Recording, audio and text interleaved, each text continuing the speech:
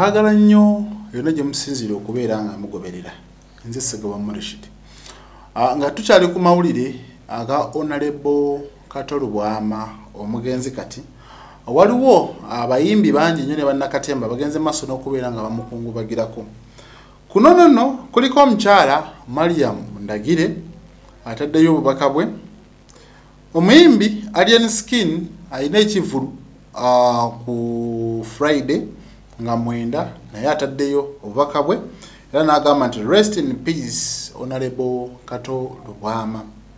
Uh, omukozi wa radio kyabasi amanyikiddwa nga medi nsereko sebuliba naye ataddeyo obubaka bwe. Robert kyagulanyi sentamu ffe gwe tumanyi nga bobi wine naye ataddeyo obubaka bwe.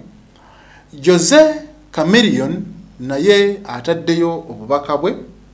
Frank gashumba naye ataddeyo obubaka bwe. Wike benda naye ataddeyo obubaka bwe.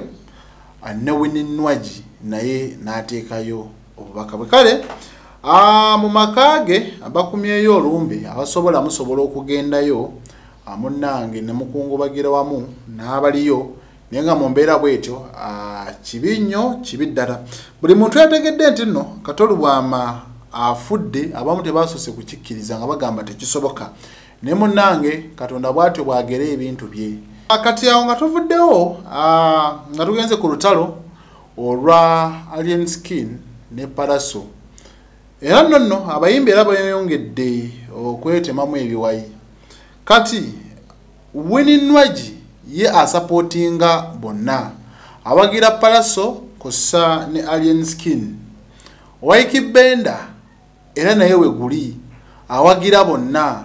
Paraso ne alien skin. Kale bangi nnyo abagenze maaso n'okubeera nga beeyawulayawula era nga bwe nakugambye nti edi kenzo ali ku saidi ya paraso uh, big i ye ali ku saidi zonna uh, then uh, jostede ali ku saidi ya paraso kosa ne shiba kalungi ne spice diana. Ate ye rabadaba ali ku lya alien skin akabako alien skin n'omulangira suuna ku alien skin bikyaliwo ebityo. Uh, omuyimbi mansur semanda king saha ayongedde okugwa mu bintu. Harmonize amuwadde kolabo ono si omuyimbi gwasoose okuwa kolabo spice dana yamuwa kolabo nawaidi kenzo akolabo kalina king saha agudde mu bintu afunye kolabo ya harmonize.